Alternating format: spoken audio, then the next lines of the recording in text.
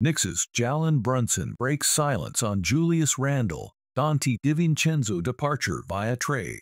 Jalen Brunson revealed the impact Julius Randle and Donte DiVincenzo had on him with the Knicks.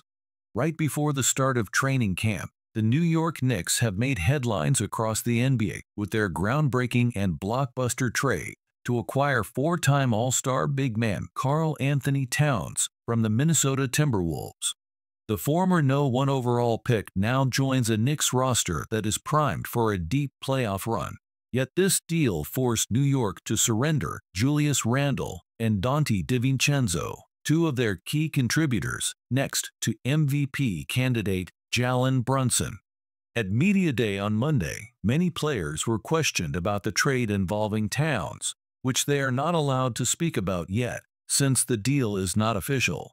But reporters asked Brunson a different question about Randle and DiVincenzo, two of his close teammates that will now be heading to Minnesota. While he did not get into specifics about the addition of Towns, Brunson reflected on what his two teammates meant to him. It was definitely tough, Brunson said of Randle and DiVincenzo being traded, according to SNY's Ian Begley. Thankful that Julius welcomed me with open arms here. That news was crazy. Randle joined the Knicks ahead of the 2019-20 season and was the undisputed leader of the team prior to Brunson's arrival before the 2022-23 season.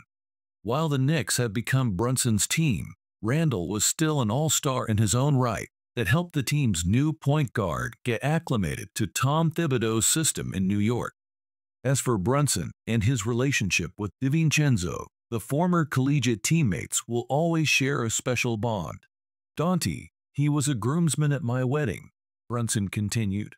That should tell you everything about our relationship. Love him to death. One of the biggest surprises to this Knicks Timberwolves trade is that DiVincenzo was involved.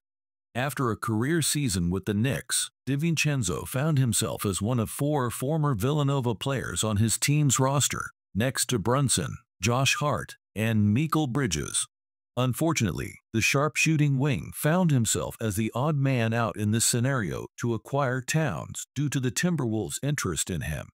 In a total of 81 games with the Knicks last season, DiVincenzo averaged 15.5 points, 3.7 rebounds, and 2.7 assists per game, while shooting 44.3% from the floor and 40.1% from three-point range.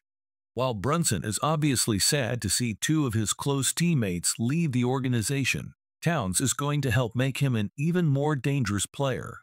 Towns has the ability to spread the floor and knock down three-point shots, which will open up the court tremendously for Brunson without the paint being clogged. The Knicks have lost a chunk of depth by dealing away Randle and DiVincenzo, but what they have gained with Towns may be enough for them to finally go head-to-head -head with the Boston Celtics in the Eastern Conference.